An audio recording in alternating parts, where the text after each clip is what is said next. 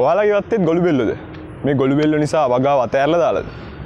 අද අපි කතා කරන්න යන්නේ මේ ගොළු බෙල්ලෝ මර්ධනය කරගන්න කොහොමද කියලා. ආයි බෝන් කියල පිළිගන්නවා මිට. ග්‍රීන් YouTube චැනල එකට. අදවම ඔගලන්ට කියල දෙන්න යන්නේ කොහොමද පියවර තුනකින් ගොළු බෙල්ලෝ මර්ධනය කරන්නේ කියලා. මේ ගොල්ලු බෙල්ලෝ සාමාන්‍යයෙන් වසරකට අට පාරක් විතර විතර දාන එක පාරකට විතර දානකට විතර සීයක් දෙසියක් විතර දාන ඉතින් මේ ගොල්ලු බෙල්ලෝ පාලනය කරගන්න එක ටිකක් අමාරු මොකද කොච්චර අපි අයින් කරලා දැම්මත් මේ ගොල්ු බෙල්ල අලුතෙන් හැදිල හැදිලා ආය අපේ වගාව කන්න පටන් ගන්න ඉතින් මේ ගොල්ලු බෙල්ලන්ගේ හානිය වැඩිපුරම තියෙන්නේ තවන් පැලවලට. කියන්නේ කුඩා පැලවලට තම වැඩිම ලොකු හානියක් තියෙන්නේ.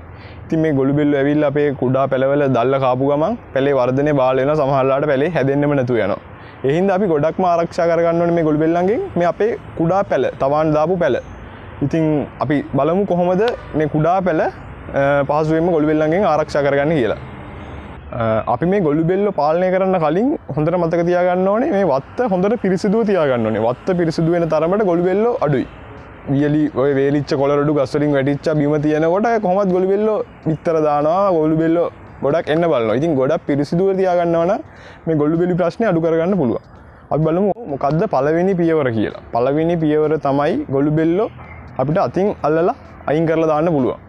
ඉගෙන රෑට ගිහිල්ලා ගොල්බෙල්ල කොමත් ගොඩක් කියන්නේ රෑට හවස් කාලේ රෑට තම එන්නේ දැන් ගිහිල්ලා අපිට පුළුවන් ගොල්බෙල්ල ටික එකතු කරලා ඉවත් කරලා දාන්න එක තමයි පළවෙනි පියවර අපිට දෙවනි පියවර ඉදිර ගන්න පුළුවන් ගොල්ලු බෙල්ලන්ට විස සහිත සහ ගොළු බෙල්ල අකමැති දේවල් ගස් වටේට දාන්න පුළුවන් මම පෙන්න්නන්ගේ මොනවද කියලා අපිට පුළුවන් ගොල්ලු බෙල්ලොන්ට විස සහිත සහ අකමැති දේවල් ගස්වට යොදන්න ඉතින් අපි බලමු මේ ලූුණු පොතු ලූුණු පොතු කෑලි හීනයට කපලා විට ගස්වටට දාන්නත් පුළුවන් ලූුණු පොතුවලට ගොළු බෙල්ල එන්නෙත් නෑ තරට පුළුවන් මේ වගේ ලුණු ලුණු කුඩු හරි කැටහරි ගස් වටට යොදන්න පුළුවන්.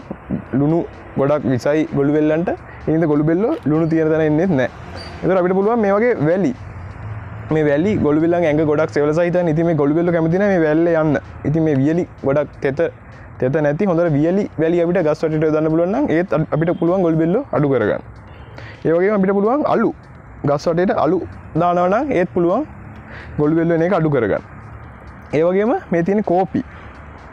අපිට පුළුවන් මේ සාමාන්‍යෙන් අපි බොන විදිහට කෝපික හදාගෙන කිසිම තනුක කිරීමක් කරන්නේ නැතුව ගස්සලට හොඳට ස්ප්‍රේ කරන්නත් පුළුවන්. තර මේ තියෙන්නේ එප්සම් සෝල්ට් එප්සම් සෝල්ට් තේ හැන්දක් ලීටර් දෙකක දිය කරලා මේ හදාගත්ත ද්‍රාවණය. මේක පුළුවන් අපිට හවසට ගස්ටට ස්පේ කරන්න. මේකත් ස්පේ කරන්න හවසට මේකත් ස්පේ කරන්නේ හවසට. මේ මේ විදිර අපි ලුණුටික ගත්තා. මේ විදියට වටේට දා ගොල්ුවෙල්ල ඉටවස එන්නේ නෑ මේකට ලුණු මේ විදිර ලුණු දාන්න පුළුවන්. නැත්තන් අපිට දහය දාන්න පුළුවන්.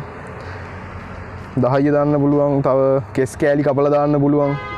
ලූුණු පොතු මේ විදිර වටේ දැම්මම ගොල්බෙල්ල එන්න අප පැලටි හොඳ ආරක්ෂ වෙන අපිට මේ මේ විදිර එප්සම් සෝල්ට් ස්පේ කරගන්නත් පුළුවන්. හොඳ ස්පේ කරන්න හවස් කාලේ දම මත මත තියගන්න හොඳට හවස් කාලයේදී හොඳට ස්පේ කරන්න ගස්සුලට ගොල්බෙල්ල එන එක අවම කරගන්න පුළුවන්. අපිට මේ ගොල්ු වෙලි පාලනය තුන්ගනි ක්‍රමේ විදිහට ගන්න පුළුවන් ගොළු බෙල්ලන්ට උගුල් අටවන්න පුළුව ඉගන්නේ මේ වගේ බෝතලයක් තියෙන මෙගා බෝතලයක් දෙකට කපලා මේ යට පැත් උඩ තියෙන මේ පැත්ත මේ ඇතුළට හිටන විදිර දාන්න ඕන. මේ ඇතුළට දාන්න ඕනි ගොළු බෙල්ල ආකර්ශණය කරගන්න පුළුවන් දෙයක්. ඒගන්නේ අපිට පුළුවන් බියර් දාන්න පුළුවන්. බියර් හොයාගන්න නැත්තං ඊස්ට් තේ හැන්දට සීනි තේ හැඳි පහක් දාලා වතුර වීදුරුවකට කලවන් කරලා දවසත් තියලා ගන්න පුළුවන්. ඒකත් බියර් වගේ තමයි ගොලිබෙල්ල ආකර්ශණය වෙනවා. අපිට ඒක මේකේ ටිකක් පුරවලා මේක වත්තේ තැනක මෙම ඇල කරලා තියන්න මේ බාගට ඇලකල තියන පුලන් ගොලු බෙල්ල මේ ඇතුළට කියලා වැටනවා. මේ ගොලිබෙල්ලට ඇතුළට වැටනට පස්සේ ලියට එන්න බෑ. ඉතින් මේකට සේරම්ටික රැස් කල අපිට යුතර විසිකල දාන්න පුළුවන්. තර ගොලිබෙල්ල එකනුත් පාලනය කරගන්න අපිට පුළුවන්. ඒ වගේම තමයි අපිට පුළුවන් මේ වගේ ජෑම් බෝතලයක් වගේ අරගෙන මේකට අපිට දාන්න පුළුවන් බියර් හරි. අර අපි හදාගත්ත ද්‍රාවණයෙන් ස්වල්පයක් දාගෙන මේක පොළොව මට්ටමට වෙන විදිහට පොළොවේ ගිල්ලන්න ඕනේ. පොළොවේ ගිල්ලුවට පස්සේ මේකට වැටිලා ගොළුවෙල්ල කොමත් මේ බියර්වලට එහෙම කැමති ගොඩක්. හිද එනවා. එල කන්න වලද්දි මේකට කෙලිම වැටෙනවා. වැටල ගිල්ල මැරිල යනවා. ඒකනුත් අපිට පාලනය කරගන්න පුලන් ඒ තමයි උගුල් ආශ්‍රයෙන් ගොල්වෙල්ල පාලනය කරගන්න විදිිය. ඉට පස්සේ අපිට තව පුළුවන් දැ මේක ස්වභාවිකෝ පාලනය කරගන්න පුළුවන්. ස්වභාවික විලෝපිකයෝ ඉන්න සාමාන්‍යයෙන් පත්තෑයා රෑබදුල්ලා කටුස්සා ඇතකොට ඇටිකුකුලා ක- අ, වගේ සතු මීයෝ මේ ගොළු බෙල්ලොම ආහරයට ගන්න ස්වභාවිකවත් ඒ විදිහට පාලනය වෙනවා. ඒවගේම තමයි අපි මහ පරිමාණ වගාවක් ඔය කරන අපිට මේ කරන ක්‍රමවලින් ගොල් බෙල්ල පාලනය කරන අමාරුයි. ඒක ප්‍රායෝගික නෑන. ඒ නිසා අපිට පුළුවන් ඒකට කෘමිනාශකයක් යොදාගන්න ඒක තමයි මෙටල් මෙටල්ඩි හයිට් කියලා කෘමිනාශකයක් තින එක එච්චර එම ලොක විසක් නෑ. අපි වුණට සෞඛ්‍ය ක්‍රම අනුගමනය කල ගලවස් දෙයක් පාවිච්චි කල එක පාවිච්චි කරන්න පුළුවන්. ඒ ගොඩක් ප්‍රතිබලදායකයි එක පාවිච්චි කරනට කෙලීම පොලෝට යොදන්න එපා. මොක්හරි මොක ප්ලාස්ටික් තැටියකට වගේ දාලා අපිට පුළුවන් වගා තැනින් තැනින් යොදන්න. ගොලු බිල්ල එක කාලා විජලනය වෙලා මැරිල යන ඒමත් අපිට පුළුවන් මේ ගොළු බිලි පාලනය කරන්න. අදම ඔගලන්ට කියල දුන්නේ කොහොමද මේ ගොළු බෙල්ල පාලනය කරගන්න කියලා.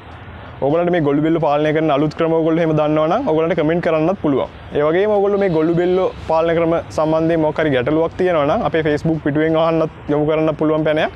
ඒවගේ කමෙන්ටයක් දාලා අහන්නත් පුළුවන්. අපි ඒවට පිළිතුරු දෙනවා. ඒවගේ මොගොල තමත් ටියුබ් චනල එක සබස්ක්‍රයිබ් කල නැත්තං සබස්ක්‍රයිබ් කරන කියලත් මතක් කරනවා. මේ වගේම වැදගත් විඩියකින් නැවතත් හමුවමු